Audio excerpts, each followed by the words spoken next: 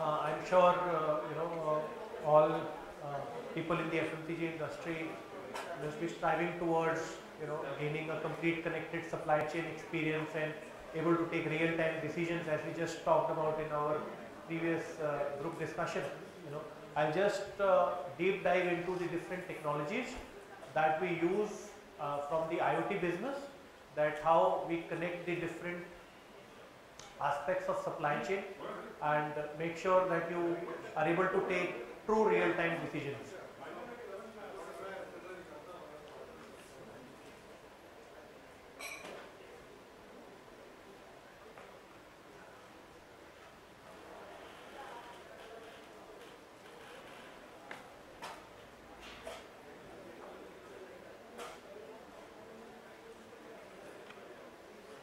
Sorry for the glitches guys.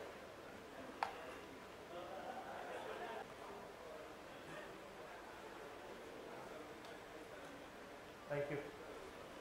So the benefits of uh, connected uh, supply chain is, you know, we talk about operational efficiency, uh, we talk about behavioral changes, you know, that might be the logistics team or drivers or different stakeholders that could be your clients, that could be your vendors and obviously the complete visibility for all the stakeholders in the industry and last but not the least the safety.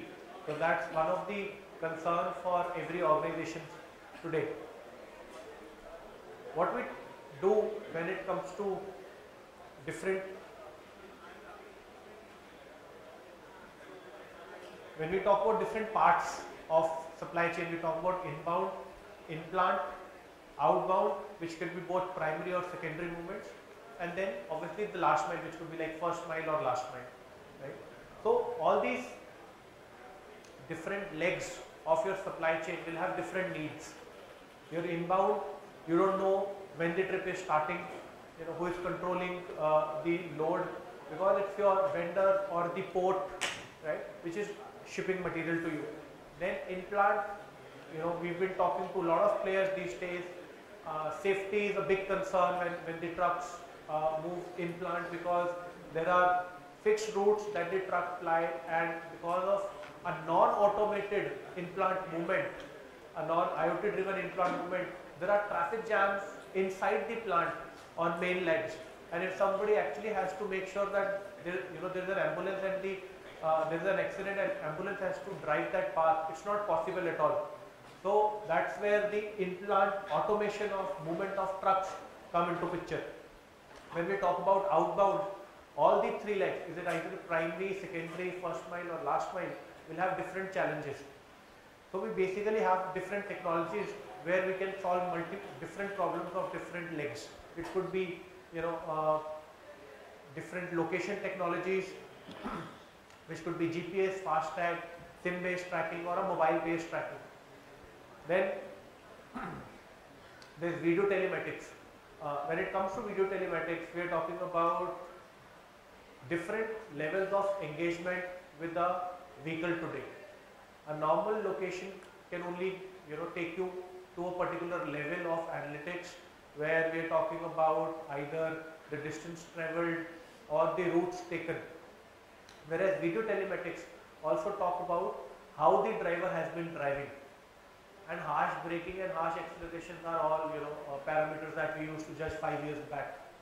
Today, uh, you know, with relay trucking coming in, express logistics coming in, you know, uh, and every logistics team has to you know move ahead of their competitors. That's where the you know drivers gets tired. Uh, there's a lot of pressure on all these stakeholders in the industry. We've also found you know uh, drivers actually sleeping in their trucks when we when we have done you know driver monitoring system using video telematics in vehicles. So video telematics is adding a lot of value today uh, with ADAS technology also maturing. Uh, that we've been able to avoid 73% of accidents in the uh, uh, we've been able to reduce 73% accidents in the fleet that we are working with uh, in ADAS solutions. So video telematics is one of the very important parameters when it comes to safety uh, uh, aspect of any supply chain. Other safety solutions also include like locks, two-way communication system, SOS immobilizer that we obviously have been talking about from a lot many years, but the implementation for each of them has improved that so that now the ease of the way this has been implemented and the acceptance at the ground level has also increased. These are some of the dashboards which help take uh, real-time decisions. We were talking about uh, video telematics. So this is how you know you see a, a vehicle on the vehicle on the route and how you can just with a click of the button move to how the real-time uh, vehicle will look at when you know look like when you are uh, when the vehicle is on the road. You can see the front view, which is the ADAS. You can see a cabin view. You know how the driver is doing inside your vehicle. It might be you know a last mile vehicle or a trailer.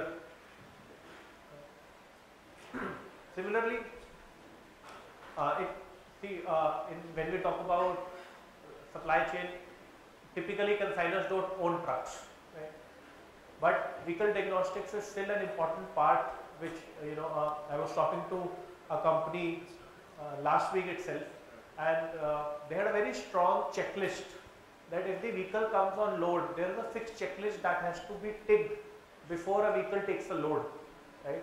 And they are the guys who make sure that the vehicle health diagnosis needs to be done because they, they carry a very premium material. When they are carrying a premium material, they don't want even a slightest of error in the vehicle that, that can hamper their delivery when the truck is on the move. So vehicle health diagnostics help us take the complete end-to-end -end status of a vehicle, not just basis how it looks from outside, but also how it is inside. So vehicle health diagnostics becomes a really important parameter when uh, you know again the safety aspect of your supply chain comes. into Moving from the safety to the analytics layer, lot of decision making happens basis the data that we provide to the consignors. Moving from safety to the analytics, there are multiple layers that you need to work on. We have to incorporate like when we work in uh, short deliveries like your secondary deliveries which are typically less than 300 kilometers. In many, many, many times you would not even know the exact delivery point. That is something that has to be estimated and that estimation of the exact delivery point happens on multiple analysis basis the previous trips done on similar routes basis the stoppages the vehicle has taken basis the uh, pin code or the address with the reverse geocoding uh, where the vehicle was headed and direction of movement. So there are multiple things that helps take decision. Uh, that's where the, the analytics, the AI and ML layer comes into picture. Some of the dashboards that help take real-time decisions.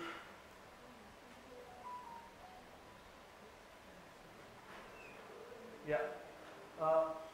So this dashboard helps you take real-time decisions. When we are when we are talking about what the trip uh, was doing, if was it in plant, was it in route, or is it returning back to the yard. So everything is visible right at the corner with a small pie chart.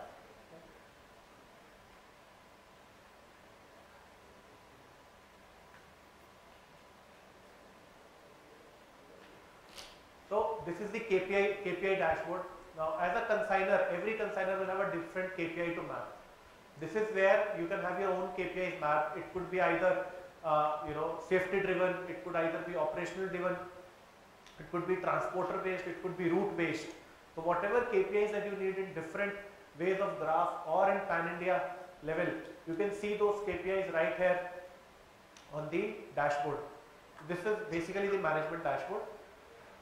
Moving forward to a control center. So now most of the consigners that we go to and hence we are able to implement control center across multiple consigners.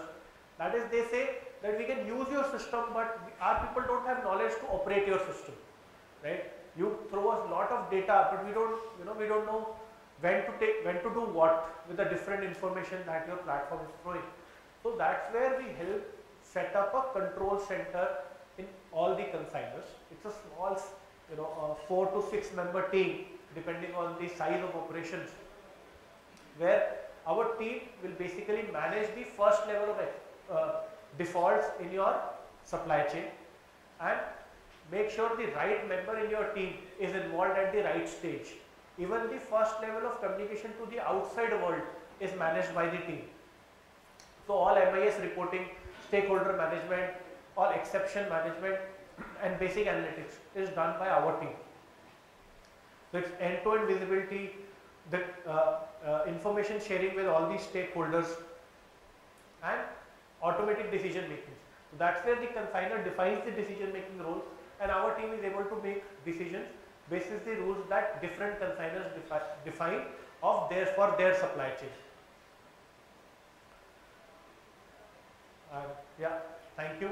I hope this was interesting and uh, there was some learning for everyone sitting in the audience.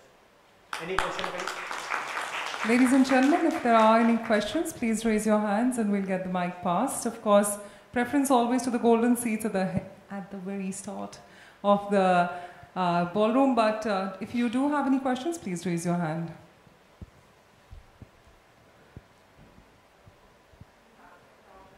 Thank you.